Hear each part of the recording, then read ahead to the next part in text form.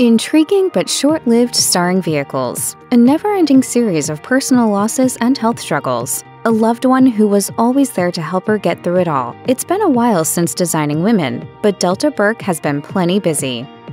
Delta Burke's departure from Designing Women in 1991 didn't exactly go smoothly. Things were tense on the show for some time, and after Burke came forward about being subjected to psychological abuse by the producers, she was then fired from the show. The fallout was difficult, as Burke admitted to the Deseret News in 1992. There's still a lot of emotion there, a lot of frustration and anger. Nevertheless, Burke was glad to be out of what she considered an intolerable situation. As she put it, there were a lot of good times, but there were an awful lot of bad times that didn't have to happen. Basically, it was like putting in five tours of duty of Vietnam. While Burke was adamant that it was the producers of Designing Women who were creating a hostile work environment, they and her co stars alleged that she was really the one to blame. Her reputation as a diva who was difficult to work with hounded her for years. As she recalled to the Los Angeles Times in 2000, I could flip around the TV, and every damn time I would land on Married with Children, They'd say something snarly about me. I felt like it was hunting season and I was it. Despite Burke's dramatic exit from designing women and her unsavory reputation, her name still carried a lot of clout in Hollywood. She continued to act steadily throughout the 90s and 2000s, with major roles on shows like Popular and Boston Legal. She even landed her own sitcom Delta the year after leaving Designing Women, although it only lasted for one season. Actually, what I really want to do is to sing at the Grand Ole Opry someday. Burke's other credits included guest stints on the likes of Diagnosis Murder, Lois and Clark, The New Adventures of Superman, and Drop Dead Diva. None of these roles were as iconic as Suzanne Sugarbaker, but they did keep Burke busy. While Delta Burke may not have left designing women on the best of terms, her star power was undeniable. She would go on to reprise the role of Suzanne Sugarbaker more than once, including in 1995 on the Designing Women spin off Women of the House. That short lived series saw Suzanne entering politics by taking over a congressional seat left by her deceased husband, Alas, Women of the House lasted only one season, but this wasn't the last the fans would see of Suzanne. A few years later, Burke rejoined her former castmates for the Designing Women reunion in 2003, seemingly putting past wounds aside to record the special. In a 2000 interview with the Los Angeles Times, however, Burke revealed that she'd barely been in touch with her castmates since leaving the show. As she admitted, it got so ugly at the end. The years following Burke's departure from Designing Women were difficult. With things really coming to a head in 1998, she experienced a number of losses that year, including the deaths of her grandmother and her pet dog. Furthermore, her mother was diagnosed with breast cancer. Meanwhile, the actress was experiencing her own health troubles, although doctors initially couldn't figure out what was wrong with her. As she revealed to Eating Well, I was tired. My body didn't feel right. I knew something was wrong, but nobody could tell me what. Burke was initially incorrectly diagnosed with Epstein Barr virus before another doctor determined that she actually had type 2 diabetes. She was told that she needed to get a handle on her blood glucose, so she changed her eating habits and took charge of her health.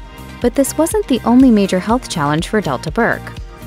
Mental health is important to stay on top of, and Delta Burke has been frank about living with depression. She's experienced depressive episodes since her teens, and living in the public eye made things even worse. Not only was there the public fallout from leaving Designing Women, there was also the harsh treatment from the media, as well as constant barbs about her fluctuating weight. As she put it to the Orlando Sentinel in 2003, I had everything I ever wanted. I was famous, I was making lots of money, but I was seriously depressed. Burke also struggled with hoarding and even contemplated suicide at one point. As she admitted to Entertainment Tonight, I just wanted the pain to go away. Thankfully, Burke is doing better now, as she sought treatment and has spoken out about ending the stigma surrounding mental health. As she noted to the Orlando Sentinel, my message is you don't have to live like this. There are therapies and medications that can help. They changed my life. They can change yours. I'm much happier than I was one constant in Delta Burke's life for decades has been her marriage to fellow actor Gerald McRaney. They met while she was at the height of her designing women fame in 1987. He proposed on their second date. They married two years later, and the rest is history. Burke credits McRaney with helping her through the highs and lows of her career, as well as her health struggles. As she told the Orlando Sentinel in 2003, I'd become the sobbing fool who couldn't cope with life, but he helped by loving me, protecting me, and learning how to help me.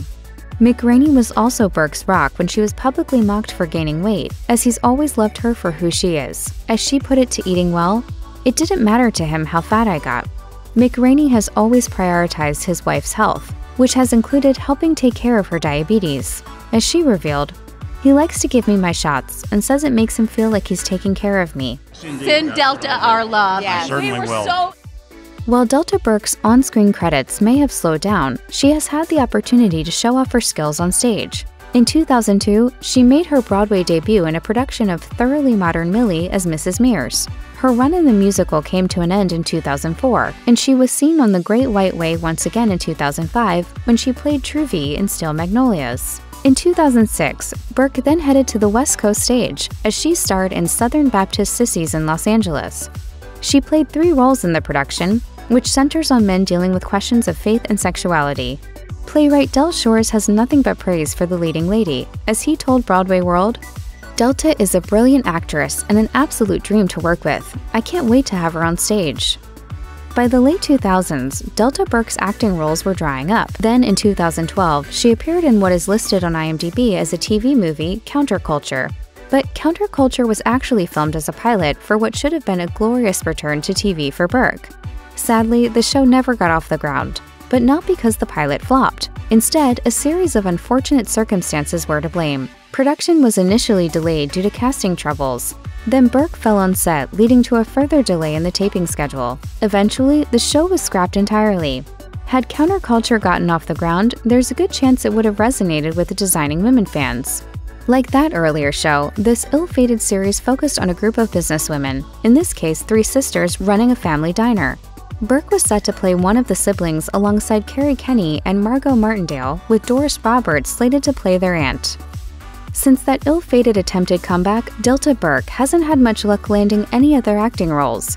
She hasn't announced that she's officially left show business or anything like that, but since the cancellation of Counterculture in 2012, she only has one screen credit to her name a 2019 episode of the anthology series Dolly Parton's Heartstrings, which also featured her husband Gerald McRaney. In 2014, Burke hinted to the Daily Mail that she would be happy to continue acting, but it seems there aren't many offers on the table. As she put it, she had no work on the horizon. At least some of this circumstance seems to be by choice, though. In 2020, a source told OK Magazine Delta disappeared from Hollywood because the industry and the people in it were becoming detrimental to her health. Now she's older, wiser, and in a good place. Now hold your horses. What Delta Burke is doing these days is really anyone's guess. She's living life out of the spotlight. Meanwhile, her husband Gerald McRaney is still acting steadily. She's rarely seen in public, and she has no public social media profiles, indicating that she probably doesn't want anyone prying into her private life. Simply put, Burke seems perfectly okay with not being as famous as she was decades ago. In a 2014 interview with the Daily Mail, she insisted that fans shouldn't worry about her. As she put it, everything is fine. I'm just not very exciting right now. Burke also spoke extensively about her husband in the interview, so it appears that she's focused on enjoying her home life outside of the spotlight. She's not entirely secluded, though, as a source told OK Magazine in 2020 Delta does get out by herself occasionally. She's moving more slowly these days, but she still smiles at people who recognize her on the street.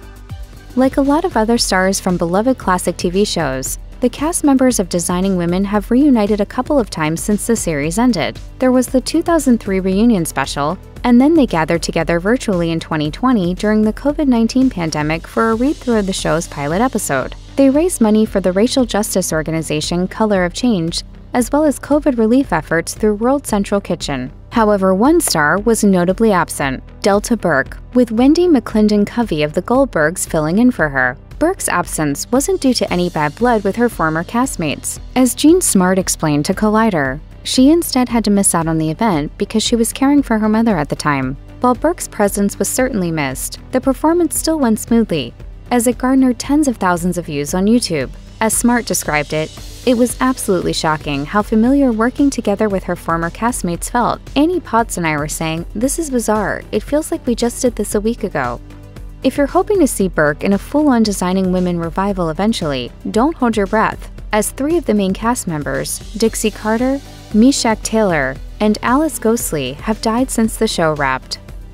Delta Burke's fluctuating weight has been a frequent subject in the tabloids over the years. A source told OK Magazine in 2020 that the actress even took meth to control her weight, noting, She lost weight because she wasn't hungry, but meth is very addicting and dangerous.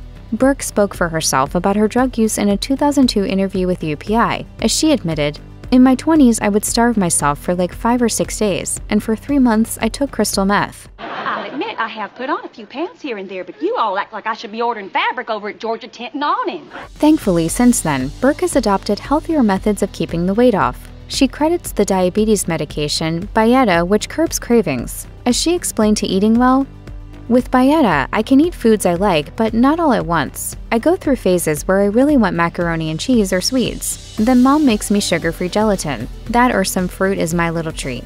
Burke is managing her diabetes, but she still has other health problems, like depression, which she's lived with for decades.